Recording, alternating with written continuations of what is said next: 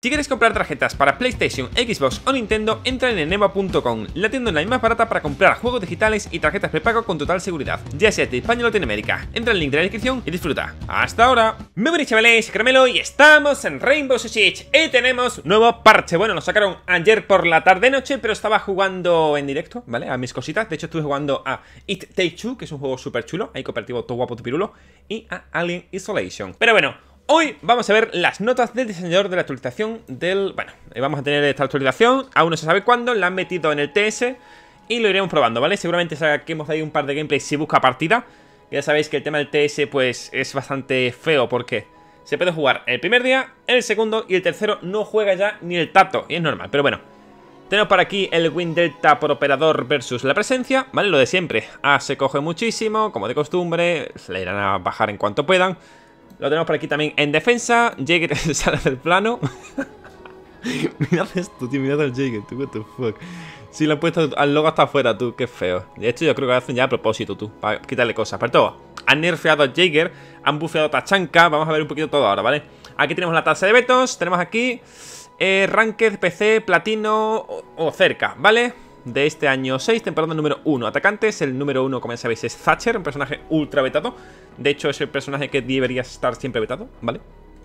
Tenemos más cositas por aquí. Tenemos también el top de defensores. Mira, Melusi, Valkyria, bla, bla, bla, bla, ¿vale?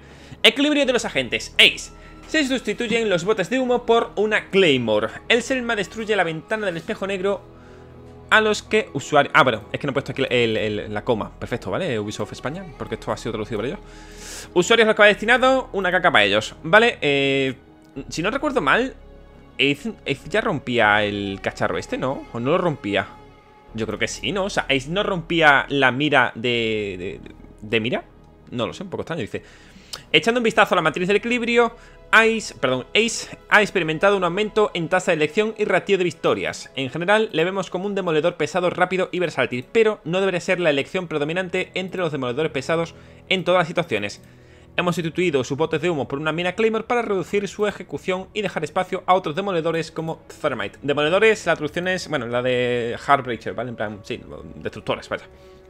Jackal.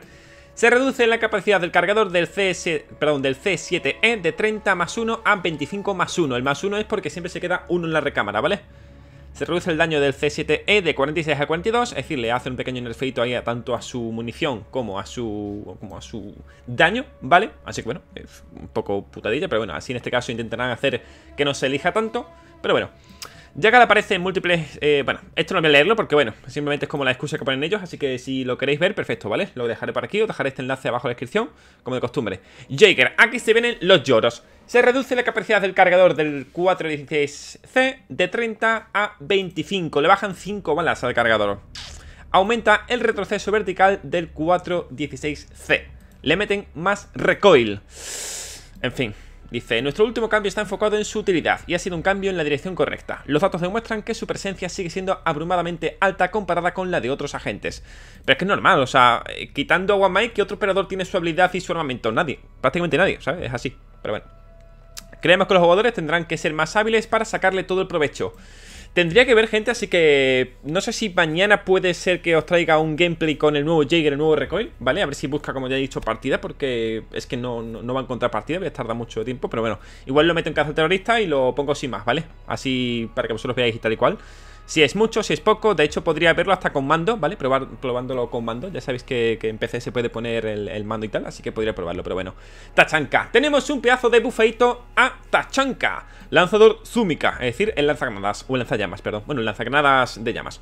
Aumenta la capacidad del cargador de 5 a 7, es decir, ahora encima le meten más, más, más eh, balas al cargador Aumenta la duración de disparo de 5 a 7 segundos, se reduce el tiempo de detonación de 1 segundo a 0,75, es decir, que tarda menos en detonar, aumenta el área del alcance de disparo de 1,7 a 1,9, aumenta la distancia para empezar a caer de los proyectiles de 8 a 20 metros, aumenta la velocidad de los proyectiles de 20 a 30 metros. Vamos, que la han bufeado por todos lados, sinceramente. Tenemos por aquí la DP27, que es su ametralladora, dice... Se reduce el tiempo para usarla de 0,9 a 0,65. Me imagino que es lo que tardas en apuntar, ¿no? O es lo que estoy yo pensando, etc. Dice, se reduce el tiempo para dejar de usarla de 0.42 a 0.30. Me imagino que esto es lo mismo, ¿no? O sea, desde que dejas de apuntar ETC, que no tarda tanto, o, eso creo. Vale, este es algo que nunca entenderé por qué pusieron esto, la verdad, pero bueno. Los primeros comentarios después del rediseño de Tachanka sugerían que iba a ser demasiado potente y disruptivo. Sin embargo, los datos muestran ahora a Tachanka con una presencia baja y un uso de sus granadas también bajo, lo que deja su letalidad en un punto que no deseábamos. Es decir, que se pensaba que iban a ser un personaje súper roto, de hecho yo lo esperaba igual, pero luego a la hora de la verdad es como todo, ¿vale? O sea, siempre que vemos un personaje, ya sea en su cinemática, en su tráiler de presentación, en un pequeño vídeo de demostración, lo vemos súper chetado, pero luego lo probamos y es en plan, pues no para tanto. Y esto literalmente pasa y ha pasado con absolutamente todos los personajes, con todos. Que al principio vemos súper cheto, pero a la hora de la verdad es en plan, meh, ¿sabes? Bueno, menos con Blackbeard, que Blackbeard salió con 1500 de vida en su escudo, pero bueno. Dice, a ver, esperamos que Tachanka sea viable en todos los niveles de juego y que resulte tan buena alternativa o complemento como Smoke para crear nuevas estrategias basadas en bloqueos de zona y tiempo. Hemos aumentado la potencia, duración, alcance, velocidad y la capacidad de sus granadas para que resulten más útiles y letales en combate. Estos cambios le harán más mortíferos y útiles en combate. Al mismo tiempo, no darán la sensación de ser demasiado potentes. Si ellos lo dicen, pero vamos, acaban de nerfear literalmente todo. Todo, ¿eh? Duración, potencia, alcance, velocidad y capacidad de granadas. Todo prácticamente han hecho como un rework, pero un buffet de rework, vaya. Thermite se sustituye la Claymore por botes de humo. Al igual que con Ace, solo que al revés, ¿vale? Usuarios, bla bla bla bla. Dice, queremos mejorar la capacidad de Thermite en un abanico más amplio de escenarios en el juego. Al darle botes de humo, creemos que tendrá más impacto en la ejecución del final de la partida, ofreciendo otra vía para aportar utilidad, incluso después de que las paredes se hayan abierto. Es cierto, o sea, muchas veces cuando tú eres Termite, es decir, cuando eres Thermite, tú abres lo que tengas que abrir y ya no tienes nada más que hacer con el personaje. Plan, te pones a cubrir o te puedes poner a usar si te da gana. Pero gracias a estos botes de humo puedes esperar a plantar, ¿vale? Por ejemplo, para cubrir el plante con el tema de bote de humo, etc, etc, ¿vale? Y por último tendremos equilibrio de armas, rifle de francotirador DMR atacantes. Eh, esto me lo vi ayer lo veo bastante aceptable, lo veo bastante correcto el por qué lo han hecho, ¿vale? Dice, se elimina el acceso a los aumentos 1.0 de todos los DMR. Esto está perfecto, ¿vale? Se acabó el que una persona se coja los DMR con una mira eh, básica, ¿vale? Por defecto default, ¿vale? Es decir, que vamos a tener que pillar sí o sí una mira por 1.5, 2.0, 2.5 o 3.0 si está disponible, ¿vale? En los DMR. Dice, se da acceso a las miras 1.5, 2.0 y 2.5. La 3.0 es la opción por defecto. Es lo que debería haber sido siempre. De hecho, eh, creo que deberían quitarle tanto la 1.5, la 2.0 y la 2.5. Deberían solo tener la 3.0, pero tal cual, ¿eh? O sea, si son DMR, es decir, que son rifles semiautomáticos, deberían tratarlos como tal, ¿vale? Esto se, se supone que son rifles para largas distancias, etc. Era un poco chetado que tú con un rifle para largas distancias pudieras meter literalmente porrazos a gente porque tuvieras una 1.0 ahí puesta, ¿sabes?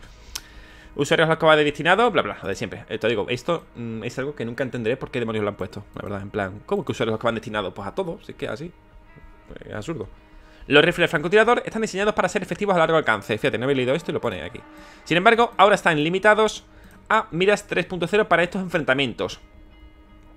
Pero es que está si están limitados a estos enfrentamientos, o sea, están limitados a estas miras, ¿por qué se da acceso a esta igualmente? ¿Sabes? Pero bueno.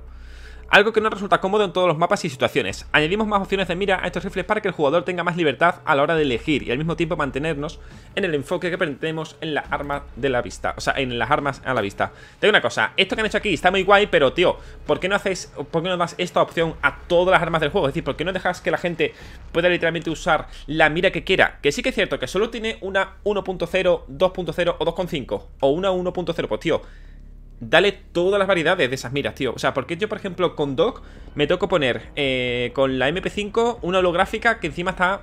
Es la fea, ¿sabes? En plan, ¿por qué tengo que ponerme yo esa holográfica? O por qué en otro, por ejemplo, tengo que ponerme una holográfica que no me gusta sin teniendo la otra, ¿sabes? Ya disponible. ¿Por qué no me deja poner eh, la holográfica normal y por qué me tengo que poner esta que acaba de salir nueva que no me gusta nada, ¿sabes? Ambas son 1.0. ¿Qué diferencia hay entre una y otra? ¿Sabes? ¿Por qué no me dejas elegir la que yo quiera? ¿Vale? Que obviamente entiendo que si un personaje solo tiene miras 1.0, entiendo que no vamos a. O sea, que no vayamos a poder usar una 2.5 o una 1.5. Entiendo. Pero si ese personaje tiene una 1.0, ¿por qué no me dejamos usar todas las 1.0 que tenga? Igual que el punto rojo. Hay diferentes puntos rojos. ¿Por qué no puedo usar todos los puntos rojos en las armas que esté disponible? ¿Sabéis a lo que me refiero? Esto es algo que ya se dijo en su momento. Y es como. No sé, es como un castigo a los jugadores. Y es en plan, tío. No debería la gente elegir. Eh, un personaje por la mira que tenga, ¿vale? Porque esta mira no le guste y esta pues, pues no le tenga que gustar tanto, o sea, en plan, no sé, me parece un poco feo, pero bueno. Mi gente, ¿qué os parecen estos cambios? Tanto Jaeger lo traeremos mañana si puedo. Tachanka, vamos a ver de qué se trata todo esto, pero ha sido un bufeo bastante interesante, bastante cortete Y nada, eh, para el tema de los DMR, por mí perfecto, pero solo deberían tener a 3.0 mi gente, hasta aquí el videito de estos cambios Por cierto, no lo he dicho, pero he creado un calendario para los directos, ¿vale? Un poco esto fuera aparte, un poco que no tiene nada que ver Pero bueno, he creado un, directo He creado un calendario para los directos y en este caso ahí voy a poner tanto el horario como la fecha como el juego de lo que voy a jugar, ¿vale? He planeado en este momento cuánto tiempo voy a estar jugando a cada juego y qué juegos voy a jugar, ¿vale? Por eso os estoy preguntando últimamente qué juegos juego en la sección de comunidad.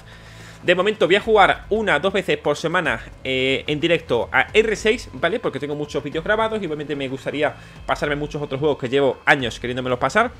Y lo tengo puesto creo que el sábado, ¿vale? No obstante, tendréis ese enlace abajo en la descripción para que podráis ver todo el horario, ¿vale? Para que así... Oye, Caramelo, ¿cuándo juegas a tal? Pues mira, en este horario va a estar puesto. Eso lo iré actualizando cada semana, ¿vale? Es decir, que eh, el viernes ya tendréis os espero listo tanto el lunes, martes, miércoles la semana que viene, ¿vale? Para que vosotros lo sepáis, para que dejéis de preguntar, Camelo, ¿cuándo juega R6? Camelo juega R6 en plan, tío, no, tengo horario para cada cosa. Me voy a tomar por primera vez Twitch algo más en serio y nada, a ver qué, tal, la verdad. Un placer y ya sabéis que todo lo que se graba ahí en directo luego va para el canal secundario, ¿vale? Que es el canal de variedad donde hay de todo y más a Un placer, un placer, nos vemos en el siguiente vídeo. ¡Adiós!